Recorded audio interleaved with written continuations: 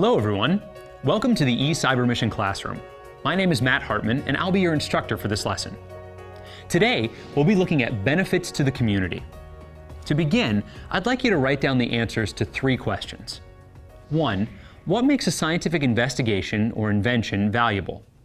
Two, when scientists solve a problem, who benefits? And three, what is the difference between a local problem and a global problem? Pause the video while you answer these questions.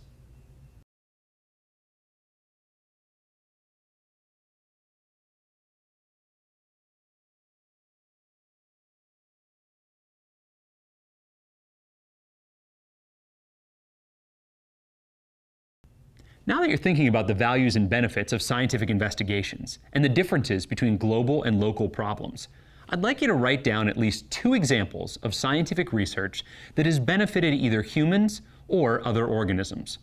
Pause the video until you come up with them.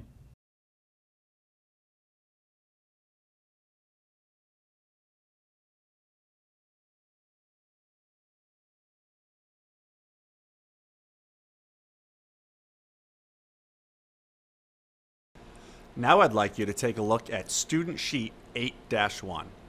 You are going to determine if these problems listed are local, global, or both. You'll put the letter that's in front of the problem in the Venn diagram on the second page. Go ahead and do that now. Pause the video while you do so.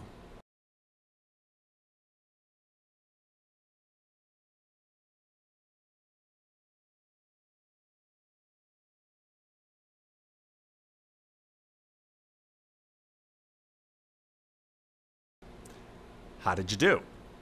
Were you able to place them all? You may have found it difficult to decide between global or local and put many of them in both.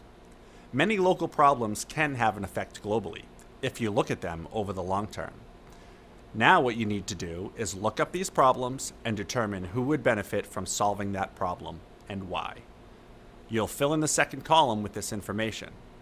And once you're done with that, you can rank these problems from 1 to 10 with 10 being the least important and 1 being the most. This can be for whatever reason you think is appropriate. Maybe it's something you feel passionate about, or maybe it's a problem that directly affects you. This is your own personal ranking and there are no wrong answers. Pause the video while you complete the second and third columns and the final question on the second page.